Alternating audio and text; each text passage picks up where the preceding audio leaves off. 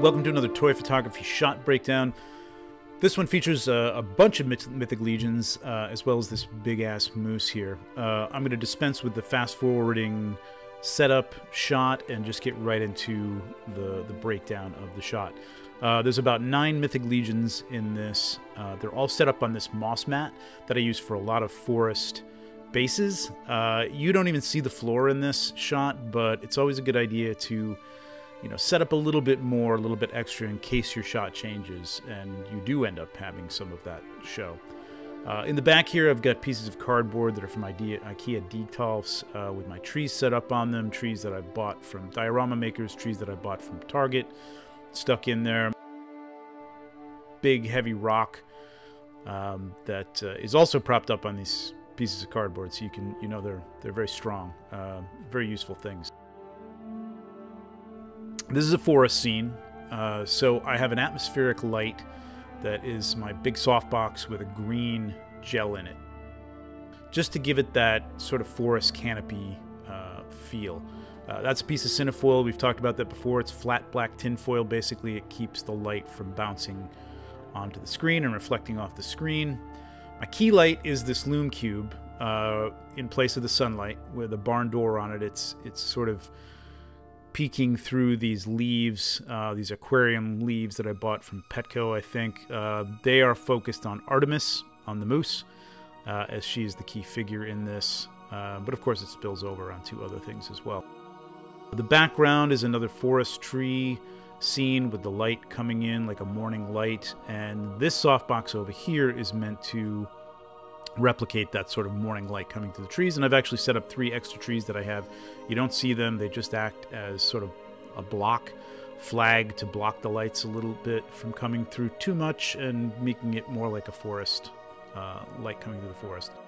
This is a reflector with a slight blue gel on it to bounce a little light onto the front of the figures, uh, but still keep it looking shadowy, as if they were in a in a forest surrounded by trees and, and not too much bright light coming. The same thing with this Lume Cube panel. It's dialed to a blue and it's bouncing off a white card to also give it that in the shadow type of feel. Um, you know, shadow isn't necessarily blue, but it's kind of got that feel to it. It's a little bit of artistic license there. You're going to see some of the figures posed a little strangely here. Those white cards are to bounce some light up onto the bottom of the moose's chin and to these elves in the front. They're posed a little weird because you don't see the bottom of them, and I really wanted their height to be adjusted uh, to allow a little bit more of the moose and Artemis to come through, but they still look like they're marching naturally in the end shot. You'll see in front here there's these little 321 blocks, these little metal blocks that have uh, ferns in them right there. Also propped up to, you know, just show in the shot, and you don't see those obviously in the shot. This is what we're looking at in camera. You can see I've got a four second exposure. Uh, I've got some fog that's going to go in here. I really wanted to dissipate a lot. F22, uh, there's a lot of depth to this. I want to get a lot of the background figures and a lot of foreground figures fairly in focus, so it's a very narrow aperture.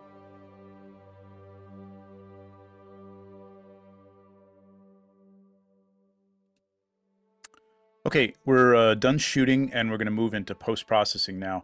I use Adobe Photoshop and Lightroom to do my post-processing.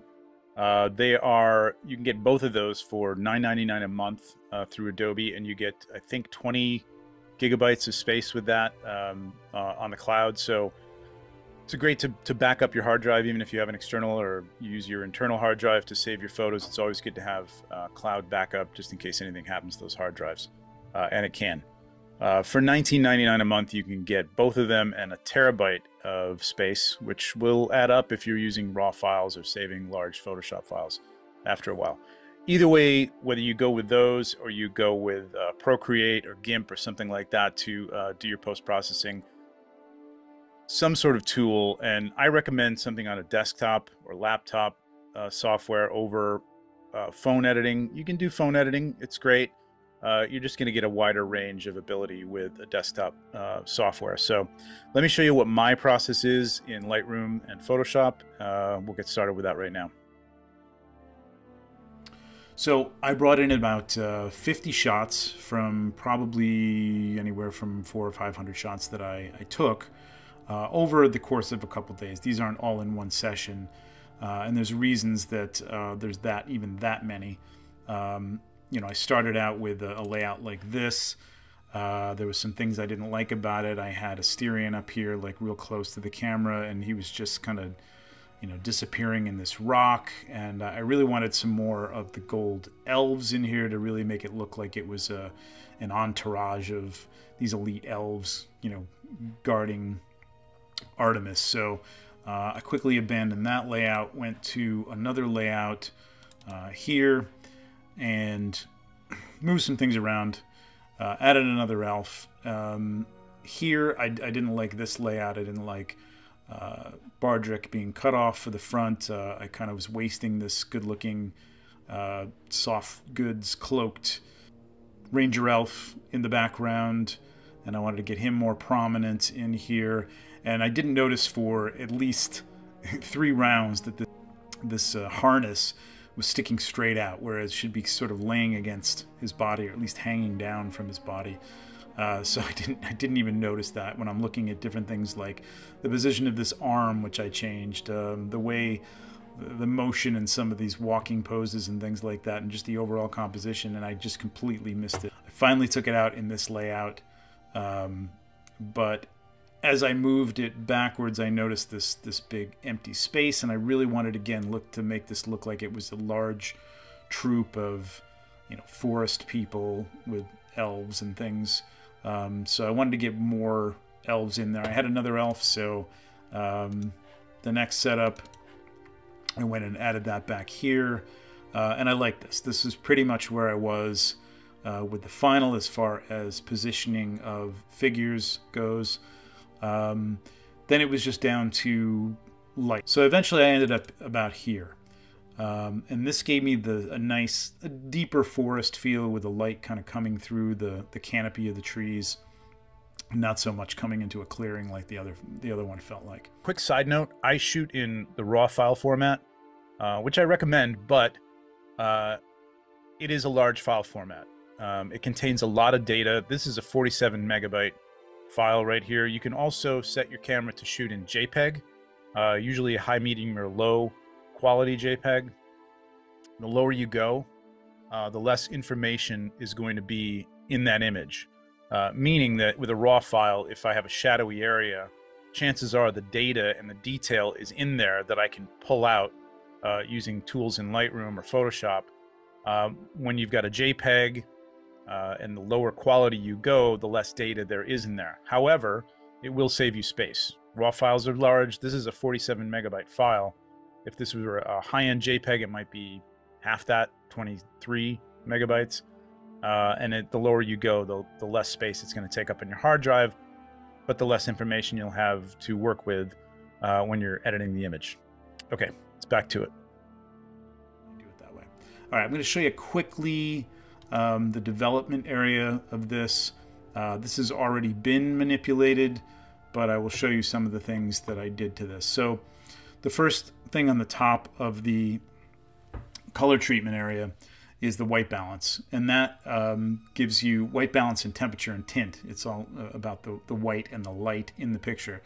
Uh, you can change this to go from cooler, bluer tones. I mean, you can really go nuts with it. Um, it's really you're looking for subtle changes, or you can really take it to the yellow end of things, spectrum of things, and you know give it a more warm you know, morning sun type of feel to it. It's very sunny and very friendly and very happy, where I wanted a little bit more, not foreboding, but a little more deep forest feel to it. So I went more with the blue temperature. And there are settings in here that you can use. Uh, auto daylight cloudy shade. You'll figure out which which you like. Tint, uh, you can tint this from you know more of a green shade, which again with large movements can get a little weird. It's a subtle, usually a subtle change from whatever you shot. Um, I skip down to presence at that point. I go to clarity, and clarity is does stuff like this. Like let's say you're getting into uh, some details uh, like this this pauldron that she's wearing. If I take the clarity down, um, even subtract it, well, even just to where it was shot, it looks pretty good. And then you bump that up, and suddenly you're seeing a lot of detail. Now you can go overboard with that, and it, things, certain things can start to get a little crispy. So you don't want to go too far with that. I usually keep it around the 50 mark or less than 50. You'll see how that sort of changes some highlights and things like that in the, in the image too as I go from here to here. Um, so that's why I start with this, and then I go into my tone because uh, I may not have to, you know, expose it as much. That clarity may bring some out some highlights that I don't have to really change the highlights too much. So there's a lot. There's a lot to this. Uh, I'm not going to go into it in great detail here, but this is where I do my basic development for color correction, tone, clarity, uh, hue, saturation, things like that. Once I get this done, until my final edit, I don't really do a lot of manipulation of the color and things like that. It's more, uh, I'll show you in Photoshop, it's more just pulling the uh, elements of the different images together into one cohesive image. So that's that uh, in Lightroom. Uh, the great thing about Lightroom is you can do all that development work on one image uh, and you can go and say copy all these settings that we've just gone through the treatment, your white balance, your exposure, vignetting, distortion, sharpening. You can copy all that, and then you can go to your other files in that um, in that shoot. And this this green is one one shoot, so I know that these are all the same. The camera hasn't moved, nothing's moved in the image, and you can apply it to that. You can simply just paste it onto all of these, select them all, and hit uh, Command uh, Shift Command V, and it will paste all those development uh, points onto those images. So they'll all be cropped the exact same way, and they'll all have the same, um, you know, tone, white balance, and things like that. So that's a great thing about Lightroom. Um, so then I'll just select my star rating is basically to tell me like this is my base image. This is what I really want to use as my my my main image to start out with, and then there's elements from these other images. The three stars have some bigger elements, some bigger areas that I want to use, and the two stars are usually something that I just want to pull a little piece of something from here and there. Uh, it really means only something to me, but it helps me organize. So I'll take all these uh, starred images, and uh, I'm not going to grab them all now because I've already done this, and just go to File, Export, and then I'm going to export these as JPEGs at this point. So I've done all the manipulation I need to do. I've pulled out what I needed to pull out of the raw files. I want to work with smaller files now in Photoshop. I don't want to have seven layers of 50 megabyte images uh, to make that file huge. If they're big enough so that I can print what I need. You know, there's plenty of and pixel depth there to use in Photoshop. So, all right, in Photoshop, I am going to go to File, Scripts, Load Files into Stack and then I'm going to hit browse and I'm going to pick the last set of images that I just exported uh, from that last shoot and hit open and so there's all six of these images that are going to be brought into separate layers over here in my layers panel. I hit attempt to automatically align source images just in case. I know that my tripod has not moved. Uh, I hope that nothing is moved in the set with any of the figures or anything like that. Um, generally it hasn't, but I just hit attempt to automatically align source images anyway, uh, just to make sure everything's like tightly lined up. Okay, once uh, that feature has brought in your layers, your, your different images on different layers and, and align them or made sure they were aligned. Uh, I'm going to take my four star image, which was 8218, and I'm going to move that to the top. I'm just going to mark that with a blue. Sometimes I'll just, you know, name it like base or something like that just so I know that that's my base image. I'm going to turn that off and I'm going to kind of go through the other layers and see what I like. So one of the things I liked about uh, this layer was the fog that I got up in here. Uh, really helps to recess and give some depth to these characters, makes them look a little bit further back. Um, and this one as well. So you can see how more dense the fog is in, in this one than it is in that one, but I like them both for different reasons. I'm going to take both of those files and move them up above my base file. I'm going to turn off the dense fog one. And then what I'm going to do is what I want to do is I want to bring some of this fog into this base file. Okay, I want to take some of the fog from this image and bring it into here. Uh, so I'm going to turn on this fog file. And then I'm going to go down to the bottom here and hit add layer mask. Okay, you can see that tooltip pop up there. And that's going to add another white box next to the image. When you've clicked on the image, you're working on the image. When you've clicked on the layer uh, layer mask, you're working on the layer mask. Okay, so white, in this case, in the case of a layer mask, white allows everything through. Um, black allows nothing through the mask.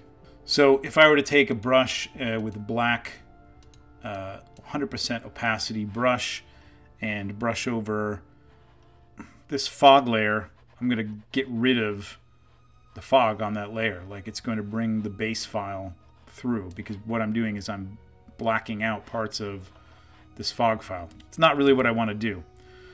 so the way I do this is I fill this entire uh, white mask area with black. Okay, so there's just the option delete, fill it with black. So now you can't see any of it. If I turn that layer on and off, it doesn't matter because you're not seeing any of that layer. It's all masked out. Then I change my color to white, grab a brush, nice soft round brush, bring the opacity down to maybe 78, 77.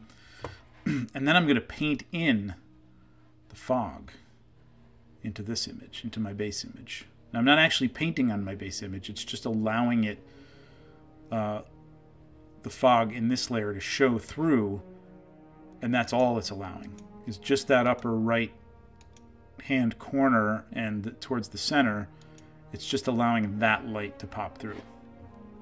I can switch to black if I want to bring back bring down some of the light like over here and manipulate it that way. If I if there was too much light on her face, if there was too much fog on her face or something, I could take a black um, brush and just hit you know a little bit of her face if there's too much fog in there. But it, this looks good. This is what exactly what I wanted. Uh, so it's taking a little bit of fog from this image and bringing it into my base image. This denser fog I kind of like because I, I kind of want to recede this guy even more and make it look like, you know, as you go further back, there's an atmosphere to this, this forest. And the further back you go, the less you can see. So I'm also going to add a layer, layer mask to that. Hit uh, Option Delete to fill that with black and make that disappear. And then I'm going to grab a brush, change the brush color to white, and bring the opacity down to about let's say 50. We're just going to hold it down once and sort of bring in some more of the fog back here and just recede him a little bit more. Um, so I like that. You can see the difference there and there. And then if you turn them both off, you can really see the difference between two of them. You can't get a shot with the perfect amount of fog everywhere you want it to settle. It's just not going to happen. So if you use atmosphere like this, um, like I, I, if you look at the lower left of this one down here, um, I want to get that fog into the main image, so I'm going to do the same thing. I'm going to add layer mask. I'm going to fill it with black, change the color to white on the white brush, and I think 53% is good. And then I'm going to paint in some of the fog back here. And again, the more you go over it, the more you click on it, the more dense the more you're going to bring through, and you can also adjust the opacity if you want to just bring a little less through. That's uh, the reason I do so many shots with the fog, and um, you know, usually only takes three or four layers to do this. And you can see if you look at the layers where uh, the white is coming through, uh, or the gray, depending on the, the, opacity of the white, and allowing it through to the space. Uh, that's that's pretty much from the other images that's that's what's coming through. Um, and where you see checkerboard is, is what the translucency of it is. So it's not fully opaque. Um, a lot of this base image is still making up the majority of the image. So that's why your your alignment has to be right. If anything is off, you know you'll get a you'll get a, a blurred line, you know, somewhere. If, if if a figure had moved, you're going to see a ghosted image of something. If you you know, if you used one layer where it's it's a different position than another layer. So you got to be careful about that. Make sure everything doesn't move. Use a tripod for sure. Um, and that's that. Uh, I'm just going to jump over to the final file here and show you. Uh, this is the group. This is this is what I did on the final file. Uh, here's the masks that I use. It's a curve layer that uh, you can see uh, just kind of brightens things up and I didn't use that everywhere so I put a mask even on the curve layer just to allow certain places to be a little bit brighter. Uh, this is a burn dodge layer that I won't go into, but maybe I will in another video uh, that allows you to do burning and dodging without uh, damaging your main file. Once I'm done with everything and I'm happy with that, I'm going to hit merge group and I'm going to bring the final uh, file together. That's where I'm going to go in and do things like touch up some paint if there's like little areas of, uh, you know, I want to fix this little uh, paint mishap on her hair or whatever. whatever, a little spot on her face or things like that. Uh, hair dust, things like that go in there and use the healing brush to fix some of that stuff. Um, I'll do that on this layer. Then I do my secret sauce. Um, that comes out to something like this. Uh, and then as a final manipulation, I played around with some lens distortion just to give it a little bit more of a, you know, a little more of a fantasy feel, uh, just something a little more, you know, popping off the page. Uh, and that's it. I had the logo, and that is the post-processing of this image. Really appreciate you guys checking out the video. If you enjoyed it, hit that like button and consider subscribing to the channel if you're not already. Let me know in the comments if this was helpful or if you'd like me to go into anything in more detail in future videos. I'll see you next time, and as always, keep shooting your toys.